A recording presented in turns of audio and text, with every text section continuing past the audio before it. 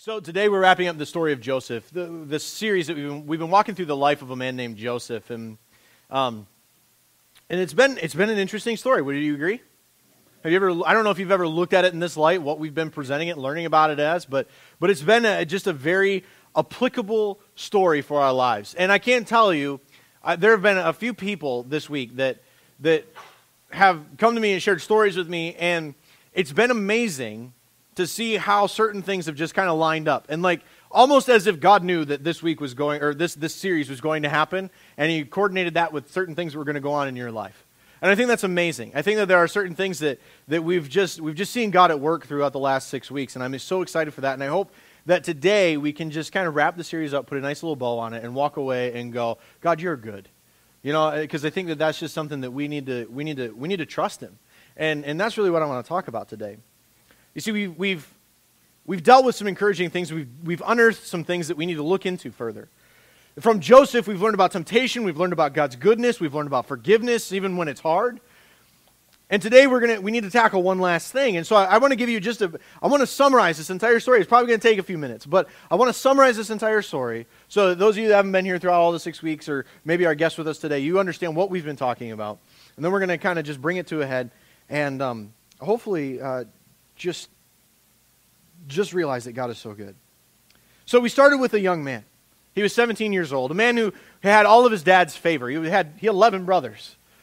One of them was younger, the rest of them were older brothers. He was in a position, he was a real middle child, right? Not so much, though, because he, he, was, he was favored by his father, Jacob. Jacob loved the son. He loved his mother. He had, he had, Jacob had kids with, with four women. And he loved Rachel the most, and Rachel bore him two sons. It was Joseph and, and Benjamin. And he loved Benjamin. He made him a coat of many colors. He made him, he made him handmade clothing. He, he showed him favor. He, he gave him the best of everything. He gave him his love. He did, he did what he could for them at the, at the neglect of his other siblings. And so he was the second, of, of uh, second youngest of 12 brothers total. And when dad shows favor to one of 12 sons, you can imagine that that doesn't go over well with a group of guys, right? They're competing. They want to be the best. Their egos get in the way, right? Isn't that how guys are sometimes? Especially brothers? Yeah. There's bitterness, there's anger, there's resentment all over this preferred brother. And combine that with a bit of a naive spirit in Joseph and, and some bad attitudes in the other brothers, and you end up with a recipe for hatred. And that's what the Bible says is that the 10 older brothers hated Joseph. On more than one account, the Bible says that they hated him. It wasn't a statement, I hate you, in a fit of rage, like a, a brother would say to another brother in the middle of a fight. It was an attitude, it was a held on thing. This was ongoing and it was persistent, and they despised their brother. He got so many things that they did in a coat of many colors, dreams that he'd rule over them one day, and it drove them apart from one another. And so one day when Joseph's approaching them off in the distance, about 60 miles from home, the brothers see his bright, colorful coat and they decide that they want to kill him. They've had it. They, they don't want to see this brother anymore and they, they, they are done with this. But instead of murdering him in cold blood, it would be easier to cover their tracks if he fell into a pit, right? So they stripped off his coat, they pushed him over the ledge, and lo and behold, he lives. And Joseph is screaming, ha really funny, guys. That was great. Ah, it didn't hurt. You know, all those things that you try to tell your brothers, like trying to be tough and, and you don't want them to know you're feeling weak in the moment. And even if he had a broken leg, he's, it's his older brother. He's got to be tough. So he's probably like, that didn't hurt. That all you got? Come on, give me another chance. And, you know, trying to figure out a way to get out of that pit. He was screaming. He was crying. As time went on, they got more and more desperate. And he would scream, and they could hear him out of this pit, and all their brothers could do was just eat lunch. No remorse, no compassion, no guilt. They hated their brother. But they did end up getting him out of the pit, but only because they saw a caravan coming in the distance, one that would, that would buy him and then end up reselling him in Egypt at a profit. And so Joseph was carried off to Egypt, away from everything that he knew, from his family, from his home, from his father, from his favor of his father his language, even. His life changed in a matter of hours. And so Joseph lands in Egypt. He's a slave for, for Potiphar, who happens to work for the government at that time. And because the Lord was with Joseph, Potiphar showed him favor, recognizing that the Lord was at work in this young man's life. And that wasn't until Potiphar was told by his wife that Joseph made advances at her while in wanting to sleep with her. We know this isn't true. If you read the account, you see that Joseph, day after day after day, refuses the advances of Potiphar's wife. He couldn't help it that he was good looking, right?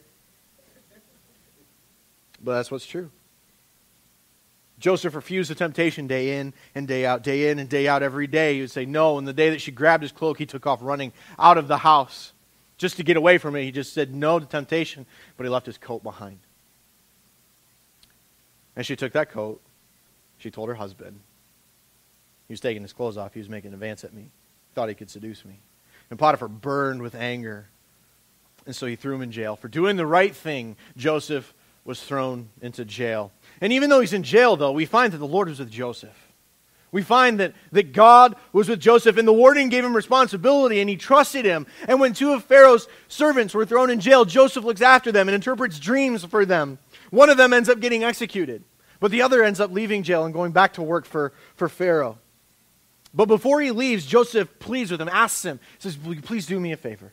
He said, Will you mention me to Pharaoh? Will you remember me when you go back to work for Pharaoh and put in a good word so that maybe I can just leave this place? I'm not a bad guy. I did, I did all the right things, and I'm here.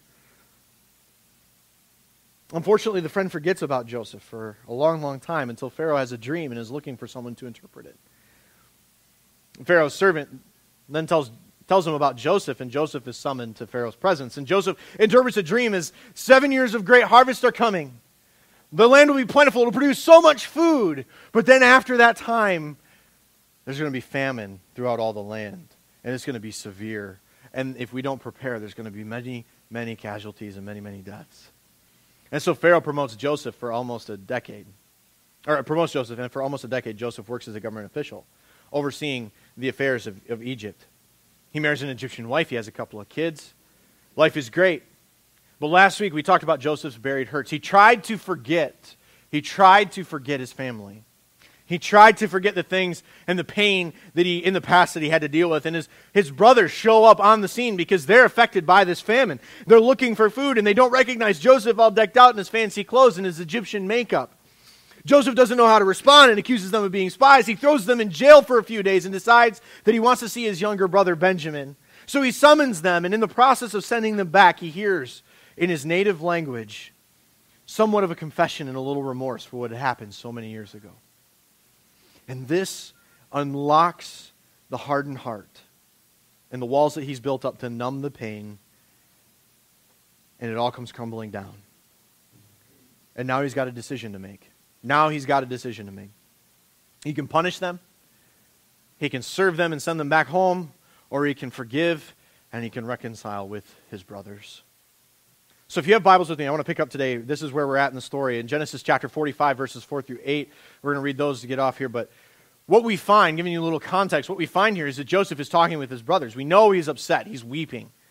And he's, he's dealing with, with all of the emotion coming running back. Imagine if you were separated from family had hurt you for, for almost 20 years. And all of a sudden they show up on the scene wanting to talk with you, wanting something from you.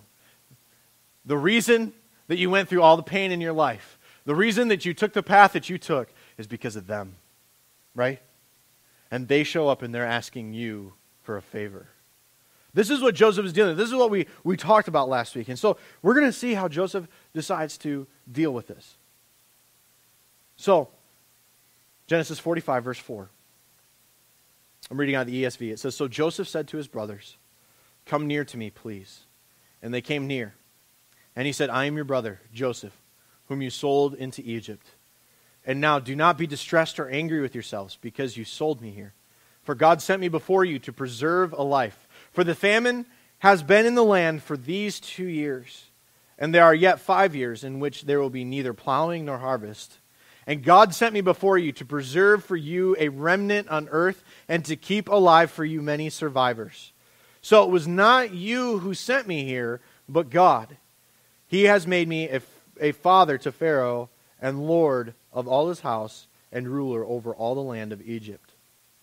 Now, I want you to pay attention to Joseph's perspective here because it's key to his actions.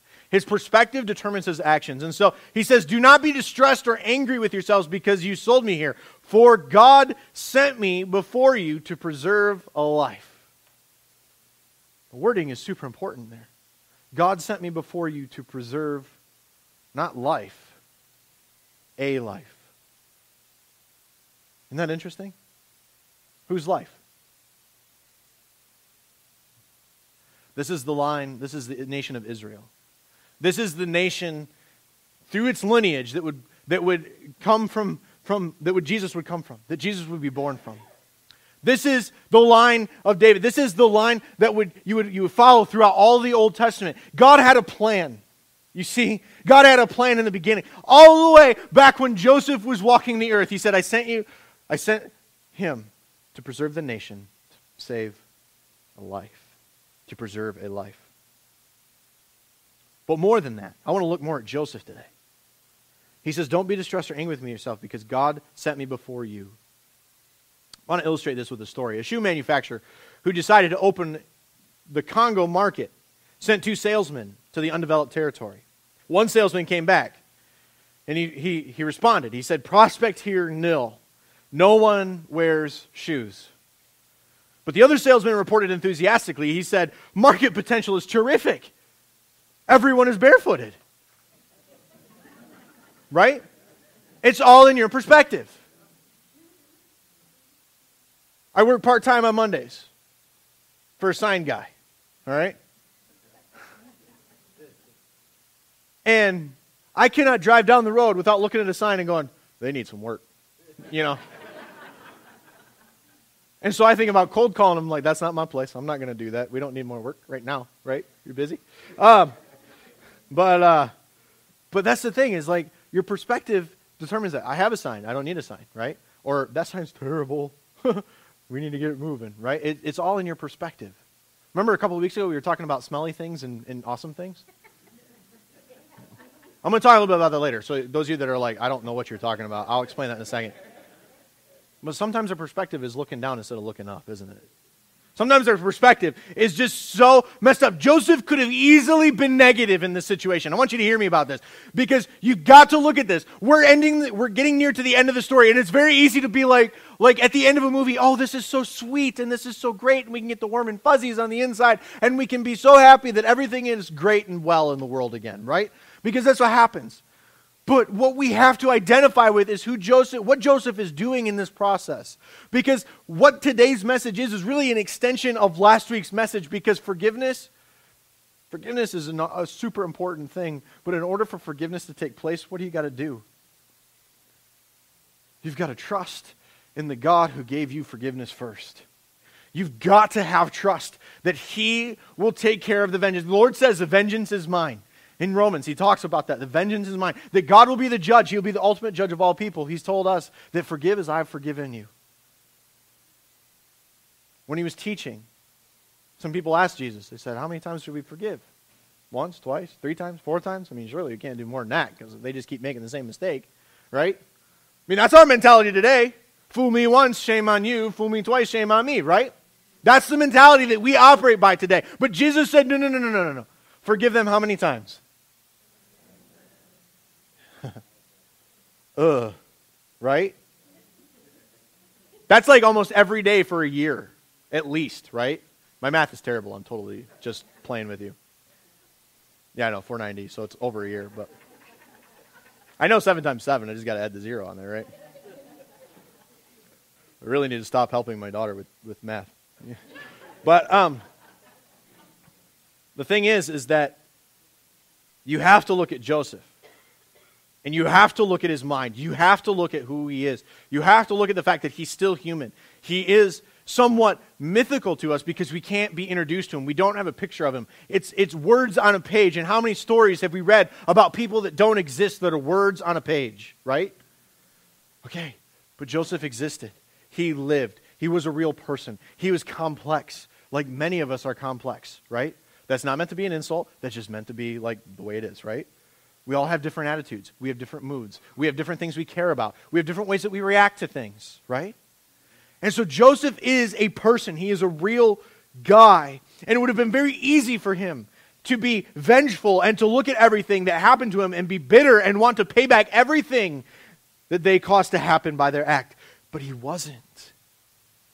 He looked at his circumstances, he looked at his God, and in the end, he said, This was him, and it was for a purpose. It was for a purpose. Now that's perspective, isn't it? That's perspective. That's not staring down, looking at his dirty, stinky circumstances. If I took my boot off right now and I held it up to you, let me put it this way. When I take my boots off at night, I go, wow. And I can't stop looking at them. Just reiterating what we said a couple weeks ago. That's bad. And you get some of that powder, maybe some aerosol spray, Febreze. I don't know what you use, but you got to get it in there and get rid of that smell, right? Because sometimes, this is more true for guys, I think, than ladies, but sometimes when something really stinks, it just soaks up our attention. Doesn't it? It does. For me, I know it does. I mean, Jeff Foxworthy had that joke. I'd say it again. Jeff Foxworthy had that joke. He's like, I don't remember what, it, what he was holding up, but he was like, he made a joke about the fact that you smell something and you, guys share it with people. They're like, dude, you got to get a whiff of this, right? You walk over and you check it out. We sometimes get absorbed in the stinky circumstances of life. We get absorbed looking down and going, man, that is so bad. That is so, so bad. And we start walking around life like this. And I can't see Keith sitting right here. I can't, I mean, I can see his feet. They probably stink too. I don't know. But. but the fact of the matter is, is when I'm looking down, I can't see what's going on up around me. I can't lift my I can't lift my eyes to the heavens and worship the Lord. I can't I can't serve one another because what am I doing? I'm so self-absorbed. I'm so looking at myself. I look at my circumstances and they stink and that's all I see. Joseph could have easily done that. He could have easily been focused on that.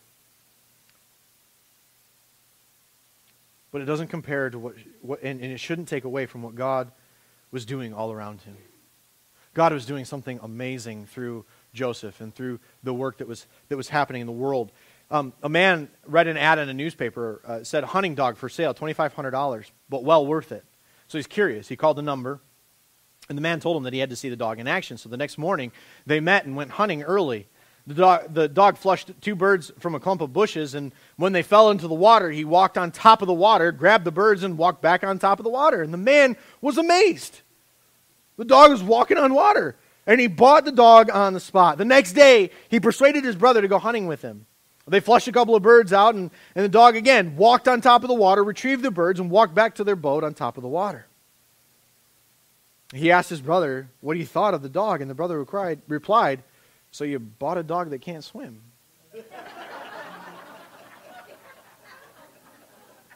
Perspective, right? Oh my gosh, something amazing is happening in front of your eyes, and that's all you can see is the negative. He can't get in the water. Great, he's not going to get back in the boat and shake it all off and get you wet, right? That's kind of the idea, is the perspective. Listen, we both know that whatever it is that you're going through, you're going to get through this. We both know that. You're going to get through this. Whether you come out on the other side all spick and span and shiny and ready to face another day, or you come out a little worse for wear. I don't know. I don't know what's going to happen, but we both know you're going to get through this. And whatever your this is, fill in the blank with whatever is going on in your life. Whatever your this is, you've got to make sure that you're looking out for something good. You've got to keep your head up. You've got to look out for something good because God is going to use whatever mess you're in for something so good. He's going to use it for something so good. But you might say, well, I caused the mess. How can he use that for something good, right? Like, that's, that's not fair. Yeah, you might have caused the mess. But not only is the mess going to transform you and keep you from repeating the sin that caused the mess, but God sure can use you and your story of his faithfulness to help other people in their mess too. Amen? How many of you have ever struggled with debt? How many of you have ever struggled? You don't have to raise your hands, I'm just rhetorical questions. How many of you have ever struggled with uh, dieting and weight loss? Right? How many of you have ever struggled with, with dealing with kids? Right? Careful. we might start a war in here. We mess up in those areas, don't we? We mess up in those areas sometimes, don't we? And you know what? Sometimes it creates problems, but God can use that mess for something good. God is going to use your mess for something so good. But don't get down on yourself. Don't be foolish. Don't be naive. Don't despair. You have to keep perspective. You have to see the big picture, just like Joseph did. Joseph, Joseph surely heard about this covenant that God made with his forefather Abraham. If you, if you flip back, I'm not going to ask you to flip back because we're going to come back to where we were. But in Genesis 15 5, it says this And the Lord brought Abram outside and said, Look toward heaven and number the stars if you are able to number them. And then he said to him, So shall your offspring be. God made a covenant with Abraham, and it's been carried down through the lines. There's only a couple generations beyond Abram. Uh, his name was Abram at the time, but it changed to Abraham, so you can use those kind of interchangeably sometimes if you want to. Um, but, uh, but he made this covenant with Abraham, and he's like, he said, Here you go. This is your offspring. This is what it's going to look like. I'm going to bless you with this. And then in Genesis, a little later in, the, in, in that chapter, 13 through 16, he said, Then the Lord said to Abram, Know for certain that your offspring will be sojourners in a land that is not theirs, and will be servants there. And they will be afflicted for 400 years. Listen, he's telling Abraham this, or Abram. Know for certain that your offspring will be sojourners in a land that is not theirs, and will be servants there. And they will be afflicted for 400 years. But I will bring judgment on the nation they serve, and afterward they shall come out with great possessions. As for you, you shall go out to your fathers in peace. You shall be buried in a good old age, and they shall come back here in the fourth generation, for the iniquity of the Amorites is not yet complete. God is telling him that his, his offspring, those that will come from him eventually, are going to experience suffering. They're going to experience affliction. They will become servants in a land. Sounds like a couple of different situations, right? And throughout the life, if you know much about the Old Testament, kind of sounds like the fact that you know, Joseph brought his family to Egypt, right? A couple of, like, go flip over to Exodus. What's happening? Who's, what does Moses have to do? He has to rescue the Israelites from Egypt because they've become slaves, because they've been oppressed, and God is going to take them to the promised land after that.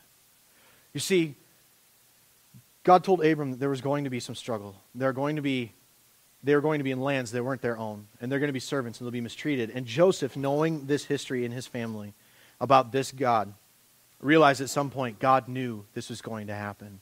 He knew that these things were going to take place. And I want you to have this perspective because God knew that you were going to go through this at right at this time. And he knew that Max Lucado was going to write this book and that I was going to use it for these six weeks to help us learn some of these concepts that we've been going over. He was going to use these teachings and he was going to use it to bless your lives. God knew that these things were going to happen and he used it. Ephesians chapter 1 verse 11 it says in him we have obtained an inheritance having been predestined according to the purpose of him who works all things according to the counsel of his will and all things all things work together to glorify God to make him known and to accomplish his purposes. Amen. All things work together. So that means all things that are happening in your life that God is willing to happen, He can reweave them. He can take maybe even what you intended for evil and reweave it into something that is intended for good.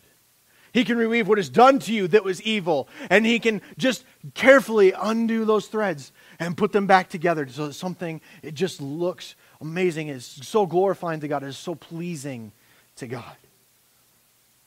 And so I really don't know what your this is today, but I do know that you're here for a purpose and that you're here because God wants you to respond to Him and to His gospel. He knows that whatever this is, it's hard. He knows that what you're going through is tough. He knows that it stinks. And he really and you really just wish it would disappear and be done with. But sometimes it's going to hurt. And you want to look up to the heavens and you want to ask God, why did you give me this issue to deal with? Why am I the one you chose to carry this burden? You ever asked that question before? And I'm not sure he'll answer you. I'm not sure he's just going to drop, you know, a little answer card right in front of you and say, this is why I did that. You know, I, am sure many of you have tried that. Like, I'm going to flip the Bible open to a certain page, put my finger down, and that's what's going to be, you know, the answer to. It's a, sometimes is really bad. I mean, I, I'm sure God can use that, but not a tactic I would suggest.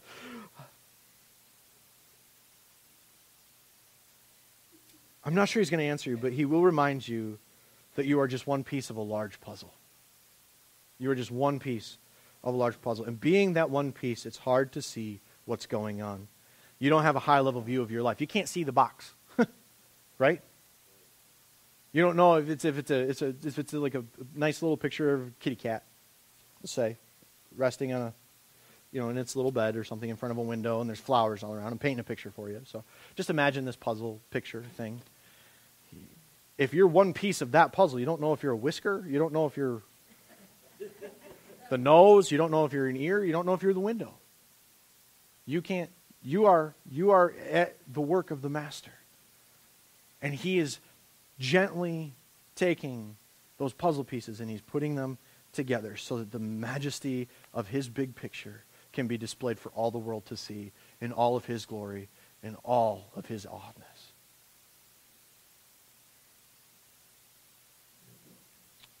So you don't have a high level view of your life. And that's what makes the faith in the Lord beautiful is trust. Trust that he knows what he is doing. Trust that he is so, so good. Trust that he is looking out for you. Trust that no matter what you're going through, he will see you through it. All things happen just as he decided that they would happen long ago. Psalm 22, 28 says, For kingship belongs to the Lord, and he rules over the nations. In Hebrews 1 3, this is, this is awesome. I love this verse. He says, He, or Jesus, is the radiance of the glory of God and the exact imprint of his nature, and he upholds the universe by the word of his power. You know, we sing that song that God's got the whole world in his hands, right? God doesn't even need his hands. All he's got to do is speak, and the universe just organizes itself and goes into it. Isn't that amazing? That's the God that you serve. That's the God that when you shake your fist and you go, God, what are you doing? What are you doing with my life? Because this stinks. This is, this is terrible. All the circumstances in my life, I just don't understand what's happening right now. And when you shake that fist at him, he's the one that's going, it's okay. I get it. It stinks right now. And, and, and he's, he's so awesome and he's so good. He can look down in your life and he can, he can bring himself to your level because that's what Jesus did. He experienced all of the temptations you could ever face. He went through them. He went through them. And God can go, I get it. I know it hurts. I know there's pain. I never said it was going to be easy. I never said it was going to be quick, but I am going to use you for good. I'm going to use you for something so good. Just trust me. Just trust me. I need a volunteer. I love that reaction. That just makes me happy. I need a volunteer. Come on up, Miss Nikki. I'm going to blindfold you.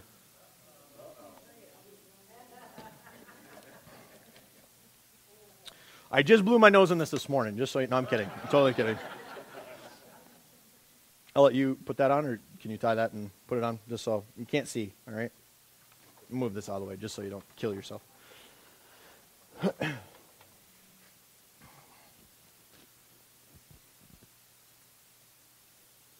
How's your balance?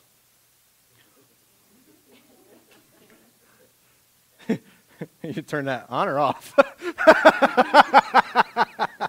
All right. So here's what's going to happen.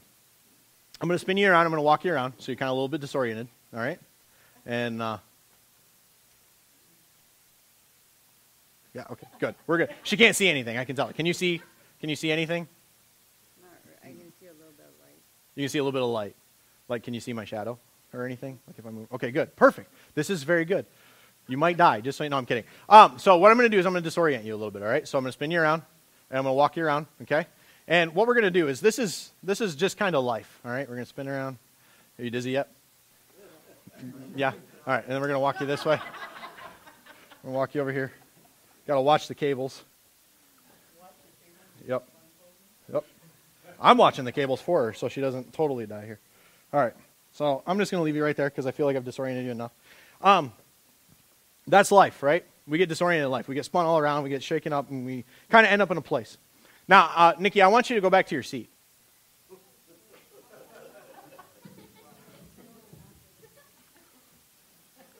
All right, you can, you can stop. You can stop. That's, that's kind of what it's like in life, right?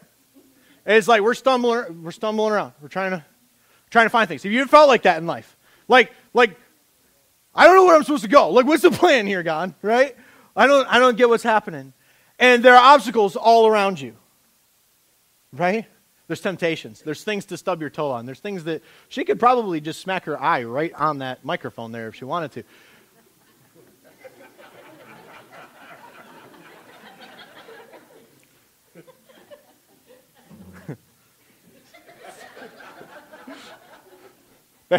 I was really going to try and just really mess with her, but I'm not, I'm gonna, we're going to stay on Jesus right now. Um, so, so what needs to happen? Need to take the blindfold off, yes. But how do you? No, no, you can't take the blindfold off. That's not the right answer. She needs guidance. Because have you ever had God come down and walk you through life by the hand? I mean, physically, actively, like, here you go. I'm going to show you the path. No, you got to figure it out, don't you? There's a little bit of work involved, isn't there? There's a little bit of prayer. There's a little bit of petition. There's a little bit of listening, isn't there? A little bit of rest in life that you've just got to sit back and you got to go, God, where, where am I supposed to do here? And then you got to start walking and you got to trust when God gives you an answer, right? You've got to trust Him in order to get through life. So, Nikki, I want you to, um, where you are, I got to get oriented, make sure I don't give you a wrong direction because that could really hurt. So, um, I would like for you to turn around 180 and uh, walk the other way. Now, step to your left a little bit. Left. If you want to do it backwards, we can do it backwards. Now, I'm going to ask you to walk forward. Okay. Keep going. Walk forward, walk forward, walk forward, walk forward. Now, turn to your right. Yep, there you go. Walk forward, walk forward. Listen to my voice. Walk forward. Now, turn to your right again. There you go. Good. Now, walk forward, walk forward, walk forward. Turn a little bit more to the right. You're going to pet uh, Michaela there. Okay, keep going. Walk forward. Walk forward. Now, I need you to sidestep to your left. There you go. Uh, one more little step. There you go. Now walk forward. Walk forward. Walk forward. Keep going. Walk forward. Now, you're going to come over some obstacles now. Um, you got to pick up your feet, okay? So pick up your feet and keep walking forward. Maybe step to your right just a tad. There you go. There you go. Oh, you got some obstacles. Be careful. Walk carefully. All right, keep going. Now, turn a little more to your left. Okay? Now walk forward. Walk forward. Walk forward. Walk forward. Keep listening. Okay? Now, stop. Turn left. Carefully walk forward. You're walking to a narrow spot. There you go. Now, turn. There we go. She found her way.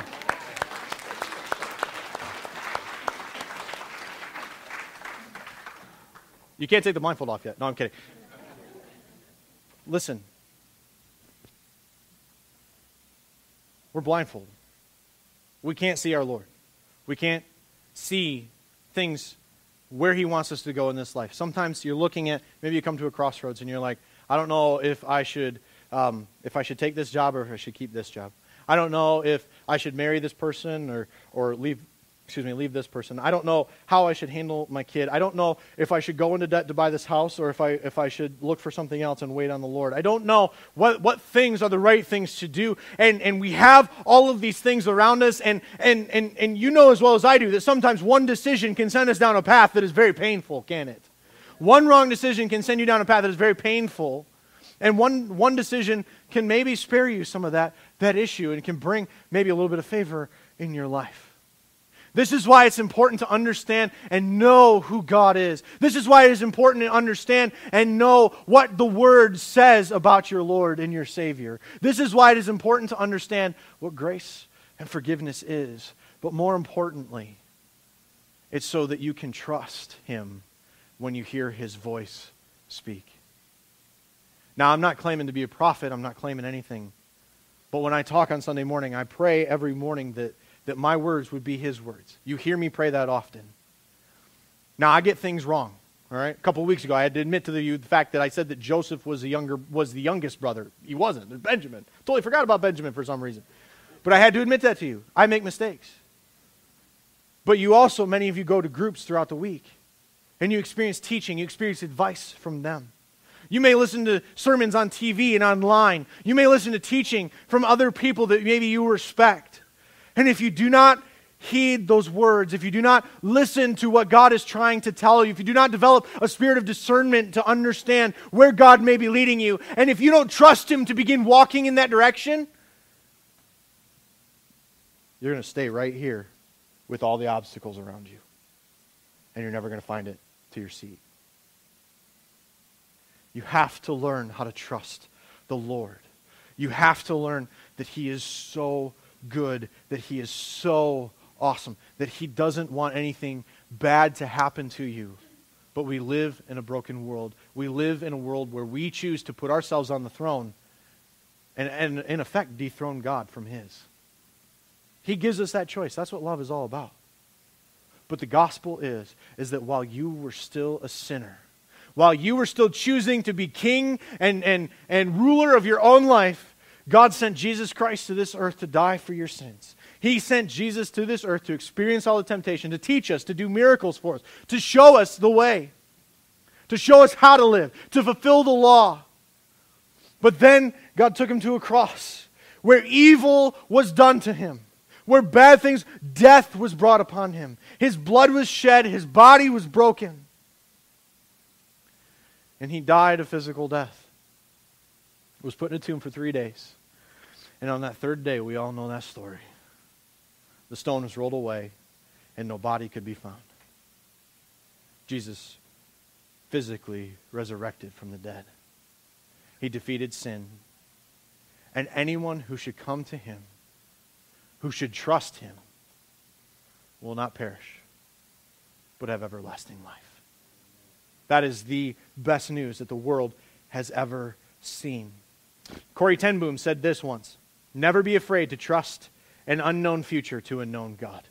Never be afraid to trust an unknown future to a known God. You may be blindfolded, you may be experiencing pain, and you may not know what your future looks like, but God is known in your life. And if God is known in your life, then all your pain, all your struggle, all your questions, they're for purpose.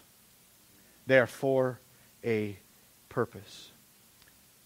So I know that you struggle with these things. I know that you struggle with pain. But I also know that God created you so that He could love you and that you could reveal Him in some way on this earth to someone who doesn't know Him yet. It doesn't make this, whatever your this is, it doesn't make this go away. It doesn't even make it okay. But it does give this purpose in the bigger picture. Trust Him because He loves you. Trust Him. I just want to hand some of these out today. These are cards with our, uh, our saying that we've been saying today. I, could I get a couple people to help me out? I have more of these if you feel like a friend could use these, but I want to make sure everyone gets one today. On this card has a saying, and when you, when you get this card. We're all going to read it together. That's how I just want to end this. Because this saying, I've heard it said more often this last six weeks than I think I've heard anything we've ever talked about. That you'll get through this. It won't be painless, it won't be quick, but God is going to use this mess for something good. And I've heard you guys reference that. I heard it in our leadership meeting the other night when we were going through policy. We looked at it and we just went, oh, we don't want to talk about this. This is not fun to talk about. And somebody said, We'll get through this. Somebody else said, It won't be easy. And another person said, It won't be quick. Right. But God is going to use this for something good.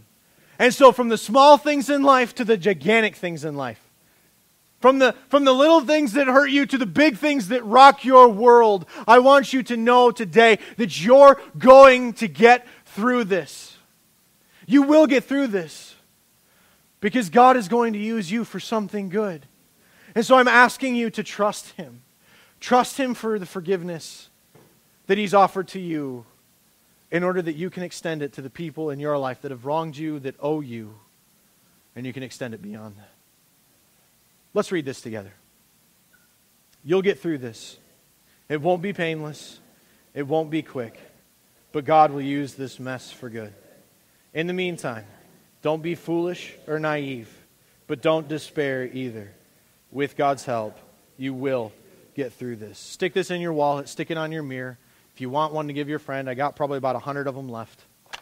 But keep it with you. And when something happens, when something that is perceived evil happens to you, remember, you will get through this.